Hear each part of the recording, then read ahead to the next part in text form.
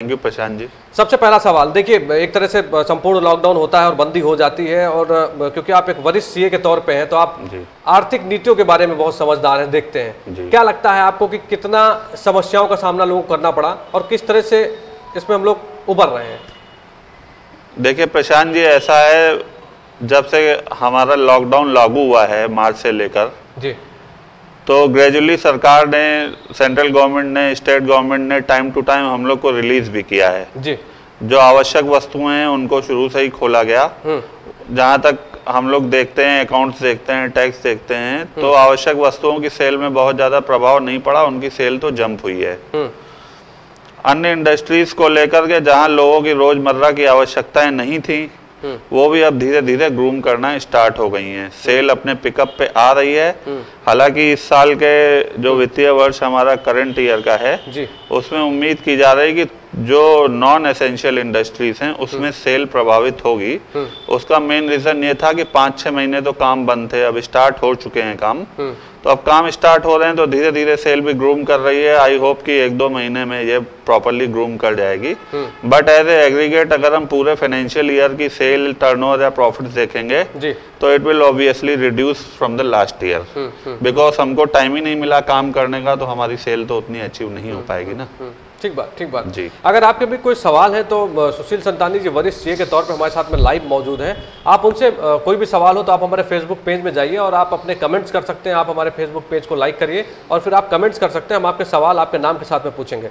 अच्छा आगे बढ़ते हैं। मुझे बताइए कि अपने शहर के डेवलपमेंट के बारे में क्या सोचते हैं? आप औद्योगिक विकास को आगे बढ़ाने के लिए मतलब इंडस्ट्रियल एरिया जितने भी हैं यहाँ पे जी। आपने बहुत करीब से देखा है अपने शहर को और आगे बढ़ाने के लिए भी आपके साथ बहुत सारे लोग हैं और आप सोचते भी हैं जैसा मेरी आपसे बातचीत होती थी कि शहर को विकसित करने के लिए ज़िले को आगे बढ़ाने के लिए जिस जगह पर आप हैं वहाँ से अच्छा सोचते हैं। क्या देखते हैं अपने औद्योगिक को बढ़ाने के लिए क्या सोचते हैं आप?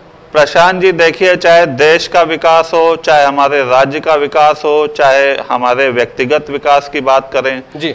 जब तक हम लोग उद्योगों को ठीक ढंग से इस्टेब्लिश करके चलाएँगे नहीं तब तक किसी भी व्यक्ति का राज्य का देश का विकास नहीं हो सकता है। है हाँ। हम लोग ने देखा कि रायबरेली में बहुत सारे बिग प्रोजेक्ट्स हैं। जैसे हम बात करते हैं रेलवे कोच इंडस्ट्री की। हम्म हम्म हम्म। उसको लगे हुए आज छह सात साल हो गए but not even a single industry not setup in the means of ancillary जी। जी जी बिकॉज़ उसमें क्या प्रॉब्लम्स हैं या उसके नॉर्म्स इतने हार्डर हैं कि यहाँ के लोग उसको कंप्लाई नहीं कर पा रहे हैं। हम्म तो लोकल लेवल पे रोज़गार का विकास एरिया वाइज अगर हम लोग बात करते हैं तब तक नहीं हो पाएगा जब तक हम लोग वेरी स्मॉल स्केल इंडस्ट्री या माइक्रो स्केल इंडस्ट्री को डेवलप नहीं करेंगे।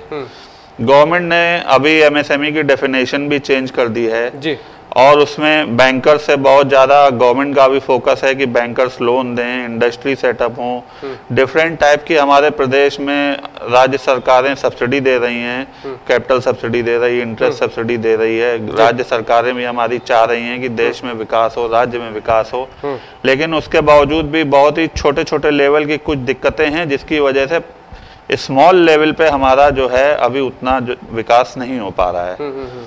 हम बात करते हैं जैसे कि वन फोर अगर किसी बंदे को आज के डेट में प्रोजेक्ट सेटअप करना है तो जो बहुत सिंगल विंडो सिस्टम पे हमारी स्टेट गवर्नमेंट ने बना के रखा हुआ है कि ऑल लाइसेंसेस अप्रूवल्स जो हैं आपको सिंगल विंडो से मिलेंगे। तो अभी बहुत सारे उद्यमियों को उस विंडो की जानकारी नहीं है। अच्छा। हाँ गवर्नमेंट ने अभी क्या किया है कि इंडस्ट्रियल इन्वेस्टमेंट प्रमोशन पॉलिसी भी बना रखी है जिसके तहत स्टैम्प ड्यूटी में भी गवर्नमेंट रिबेट दे रही है इंटरेस्ट सब्सिडी भी दे रही है आपकी इलेक्ट्रिसिटी ड्यूटी में रिबेट दे रही है मंडी टैक्स फ्री हो गया। बहुत सारे वेवर्स एग्जेम्पशन सब्सिडीज देने के बावजूद हम लोग अभी उस स्तर पर नहीं पहुँच पा रहे हैं जहाँ वो चाहते हैं कि हम उस स्तर पर आए। उसका कारण केवल यही है कि लोगों को उतनी पर्याप्त जानकारी अभी नहीं मिल पा रही है। देखिए सरकार जैसे पूर्णता व्यवस्था करती है सेमिनार्स करती है बहुत सारे आयोजन करती बताने जी, के लिए। जी। तो देखिए ज़ाहिर सी बात अगर सरकार कोई योजना लेके आती तो टी स्पून वाला तो काम होने जाएगा कि आप लगाइए और खिला दीजिए। कुछ आदमी को भी अवेयर होने की ज़रूरत है मेरे ख्याल से कुछ सोचने की ज़रूरत है। जैसे आपने कहा कि आप कुछ सेमिनार्स कराते हैं आपने कहा कुछ आयोजन कराते हैं लेकिन कोरोना काल में बहुत सारी समस्याएँ आ गई सामने बहुत सारी चीज़ें आगे नहीं जा पाई। तो कैसे देखते हैं आप कि धरातल पे कैसे पहुँचे इन्फॉर्मेशन जो सरकार पहुंचाती है और किन इसके लिए लोकल एडमिनिस्ट्रेशन को एम्पावर करना चाहिए। वैसे तो लोकल एडमिनिस्ट्रेशन एम्पावर्ड है ही है सारी बातों के लिए। सारे अधिकार उनमें निहित हैं। जी। लेकिन ब्लॉक लेवल पे तहसील लेवल पे एटलीस्ट कम से कम ऐसे कहीं ना कहीं एक काउंसलर टाइप के होने चाहिए जो विकास करें या उन नीतियों को उन तक पहुंचाएँ। ताकि जो लोग सक्षम है व्यापार करने में या अपना पूंजी लगाने में या सारे जिनके पास रिसोर्सेस अवेलेबल हैं वहाँ तक उनको स्कीम्स की जानकारी न होने के कारण वो लोग व्यापार को सेटअप नहीं कर पा रहे हैं।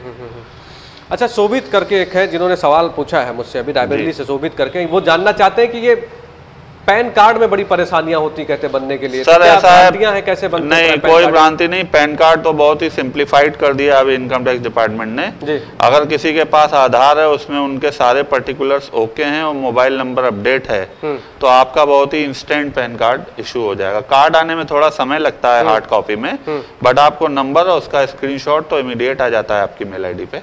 उसमें कहीं कोई प्रॉब्लम है ही नहीं। हम्म, हम्म, हम्म। बाकी किसी का डाटा मैच नहीं करते हाँ, हैं तो हाँ, वहाँ पे उस लेवल पे प्रॉब्लम इसी से जुड़ा एक और सवाल आ रहा है ये रघुनाथ करके है इन्होंने क्वेश्चन एक किया है कि उसमें जो गलतियाँ हो जाती है जैसे पेन में कभी कोई गलती हो गई कोई मिस्टेक हो गई हाँ। तो उसको अपडेट कराने के लिए क्या होता है कि पहले सबसे पहले आपको आधार अपडेट एक्चुअली क्या है सारा जो भी हमारा सिंक्रोनाइज हो गया है सिस्टम वो सारा आधार से लिंक हो गया है।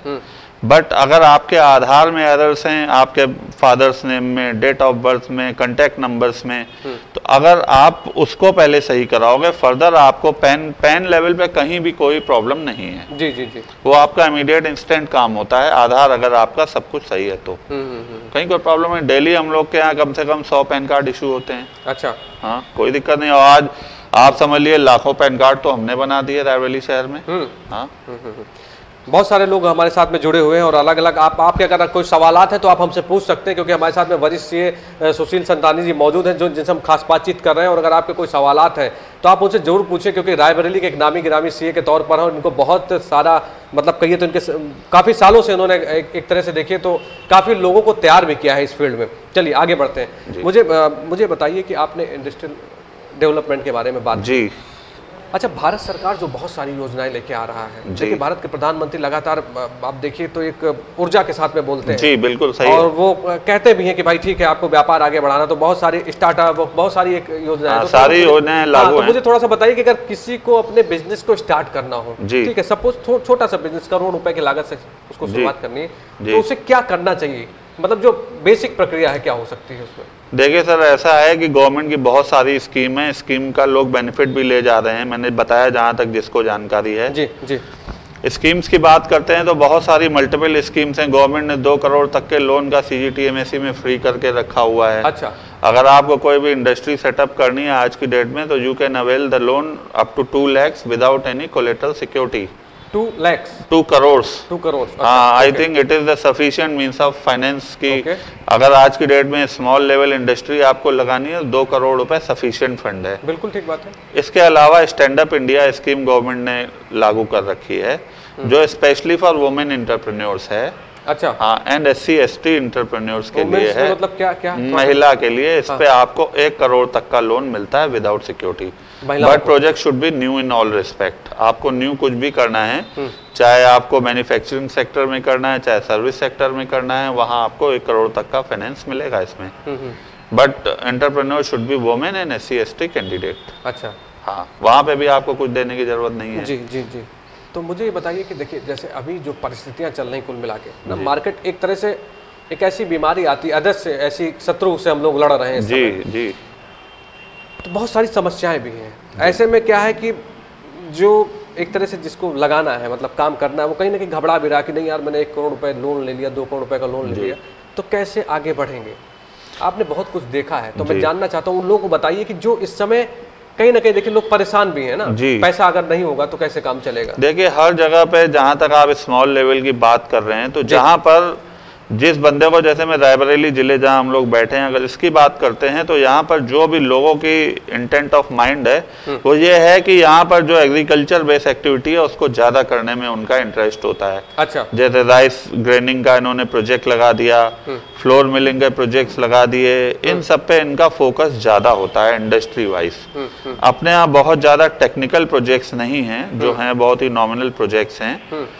तो अगर स्मॉल लेवल इंडस्ट्री में राइस मिलिंग या फ्लोर मिलिंग या अदर फ़ूड सेक्टर में अगर हम लोग लेते हैं तो इसमें सफिशियंट सब्सिडी भी गवर्नमेंट दे रही है। 25 परसेंट आपको कैपिटल सब्सिडी है 100 percent interest subsidy state government दे रही है। आपका कुछ ब्याज नहीं लगना है।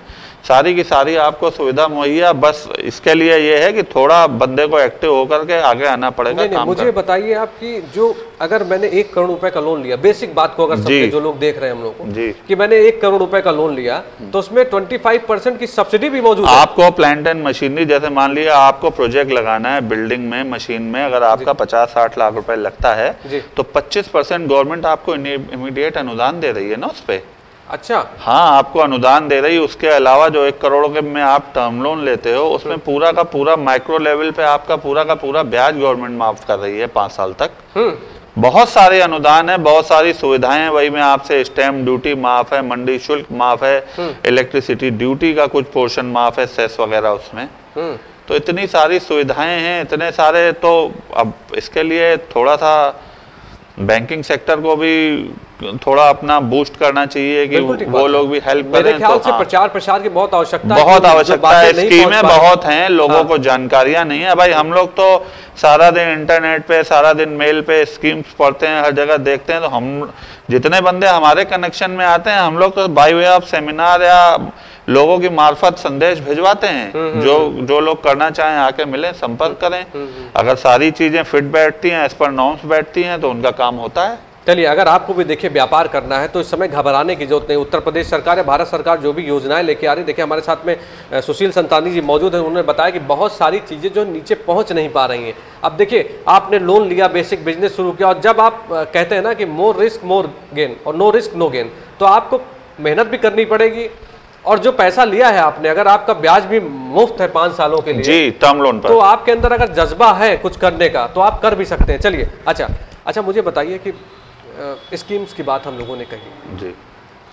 संतानी जी मैं आपसे मतलब एक रिक्वेस्ट भी कर रहा हूँ और मैं मतलब एक यहाँ से घोषणा भी करना चाहता हूँ अपने चैनल के माध्यम से कि जो स्कीम्स हैं इस पर क्यों ना एक प्रोग्राम चलाया जाए ऐसा अवेयरनेस का। बिल्कुल क्योंकि हम लोग हम लोग एक ज़िम्मेदारी है आप भी एक सामाजिक व्यक्तियों में से और मैं टाइम टू टाइम आपको प्रशांत जी स्कीम चलानी पड़ेगी क्योंकि स्कीम्स क्या है टाइम टू टाइम रिवाइव होती रहती हैं। वन टाइम प्रोग्राम नहीं है। आप क्वार्टरली हाफ़ ईयरली जब भी आप डिसाइड करिए हर तीन महीने में दो महीने में एक कॉन्फ्रेंस करिए जो लेटेस्ट अपडेट्स होंगे जो स्कीम्स होंगी मैं आपको अवगत कराऊँगा उससे। बिल्कुल ठीक बिल्कुल ठीक बात है। उससे लोगों को लाभ मिलेगा विकास में बढ़ावा होगा गवर्नमेंट का कलेक्शन ज़्यादा होगा टैक्स का। बिल्कुल ठीक बात है बिल्कुल ठीक भाई जब तक इंडस्ट्री नहीं बढ़ेगी तब तक गवर्नमेंट का टैक्स कलेक्शन नहीं बढ़ेगा। स्मॉल लेवल ट्रेड से बहुत ज़्यादा टैक्स की रिकवरी नहीं है गवर्नमेंट को। हम्म हम्म हम्म। जब तक इंडस्ट्री नहीं सेटअप होंगी इंडस्ट्री रन नहीं करेंगी तब तक विकास नहीं हो सकता है। हम लोग का बैकबोन इंडस्ट्री ही है। अच्छा विकास का एक सवाल है। विकास पूछते हैं कि किसी व्यापार को जब शुरू करेंगे तो कौन कौन से रजिस्ट्रेशन करने पड़ते हैं? क्या हाँ करवाना देखिए बेसिक क्या क्या बेसिक ऐसा है कि हर व्यापार के लिए अलग अलग रजिस्ट्रेशन की नीड होती है। अगर उनको ट्रेडिंग करना है तो सिंपल केवल जीएसटी रजिस्ट्रेशन की आवश्यकता है बट अगर उनको इंडस्ट्री लगानी है तो उसमें पॉल्यूशन का फायर का उद्यम आधार का इंडस्ट्री का फ़ूड सिक्योरिटी का बहुत सारे मल्टीपल लाइसेंसेस की नीड होती है। It's depend upon the size of project. अच्छा। हाँ हर प्रोजेक्ट की अलग रिक्वायरमेंट है। Hmm, hmm, hmm. Nature of project पे भी डिपेंड करता है। बहुत हैजर्डस प्रोजेक्ट्स हैं तो आपको पोल्यूशन से फिर आपको लाइसेंस भी लेना पड़ता है। हम्म, हम्म, हम्म, हम्म। बाकी जनरल के लिए जीएसटी और यही सब है उसमें कोई प्रॉब्लम नहीं है। अच्छा अच्छा मुझे बताइए कि जैसे मैंने आपसे कहा ना कि एक तरह से जब लॉकडाउन होता है तो छोटे व्यापारियों का भी बहुत सारी बहुत सारी चीज़ें थी जो कहीं ना कहीं तीन महीने बंद हो गई उनके लिए। आपसे बहुत सारे लोग जुड़े हैं जो छोटे मजले व्यापारी भी जिनको हम कह सकते हैं कि एक तरह से मीडियम क्लास के जो लोग हैं। जी जी। तो उनकी समस्याओं के बारे में क्या कहना है? क्योंकि आर्थिक चीज़ों को आप समझते हैं। थोड़ा ये है कि देखिए जो नॉन पेरिशेबल आइटम है अगर आप बात कर ले ज्वेलरी की कपड़े की स्पोर्ट्स की या बहुत सारे मल्टीपल जो नॉन पेरिशेबल जहाँ पे खराबी नहीं होने की बात थी जी। तो वहाँ पर तो केवल उनकी सेल इफ़ेक्ट हुई है। उनके बहुत सारे एक्सपेंसेस नहीं होते हैं शॉपकीपर्स के। नॉमिनल रेंट पे करना है स्टाफ की सैलरी देनी है बहुत कोई खर्चे नहीं है। तो मेरा ख्याल है वो सब तो रिकवर कर गए हैं सेल अपनी। उस लेवल पे नहीं यहाँ होटल इंडस्ट्रीज़ को लेकर एजुकेशनल सेक्टर को लेकर वो लोग थोड़ा स्ट्रेस में हैं। बिकॉज़ क्या है एजुकेशनल में हम लोग देखते हैं कि बीस बीस तीस तीस चालीस चालीस बसेस फाइनेंस है उनकी इंस्टॉलमेंट नहीं जा पा रही हैं उनके इंटरेस्ट नहीं सर्विस हो पा रहे हैं बैंकर्स की कॉल आ रही है पे करने के लिए।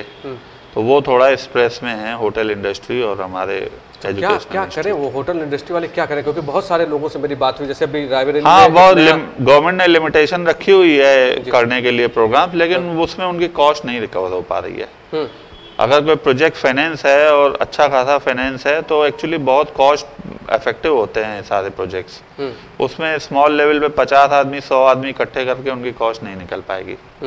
They are under the loss segment अच्छा ऐसी स्थितियों में क्या कहेंगे आप? क्या लगता है आपको कि मतलब इस समय क्या नए व्यापार की शुरुआत करना ठीक है क्या?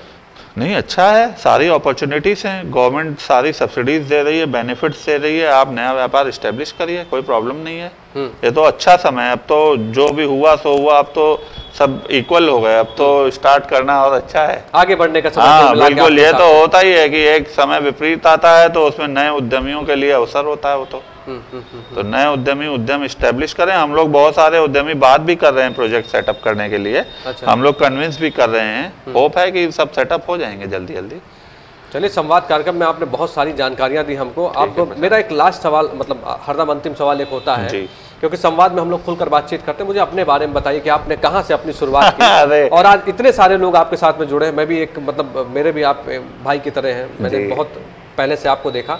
और आज मेरे को इस 20 साल हो गए प्रैक्टिस करते हुए। जी। मैंने ग्रेजुएशन तो यहीं से की थी फिरोज गांधी कॉलेज से। जी। उसके बाद दिल्ली से मैंने सीए स्टार्ट किया। हाँ।